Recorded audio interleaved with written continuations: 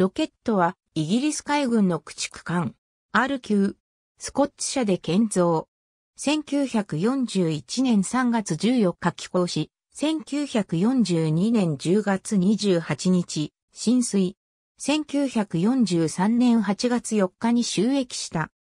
1944年10月23日、イギリス海峡で、軽巡洋艦カリブディス、駆逐艦、グレンビル、リンボーン、ウェンスリーデール、タリボンとスティーブンストンと共に、作戦行動中ドイツ水雷艇 T22、T23、T25、T26、T27 による攻撃で、カリブリスとリンボーンが光なりし沈没した。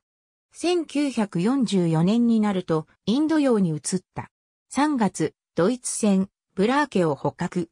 7月、クリムズン作戦に参加し、砲撃を実施した。8月、バンクエット作戦に参加。9月ライト作戦に参加した。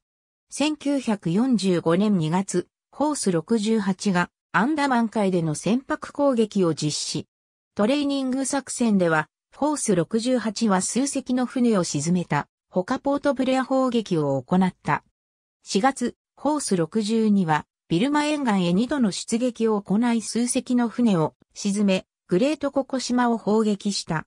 5月、日本の従巡洋艦ハグロ迎撃作戦に参加する。戦後、15型フリゲートに改装された。1967年に解体。ありがとうございます。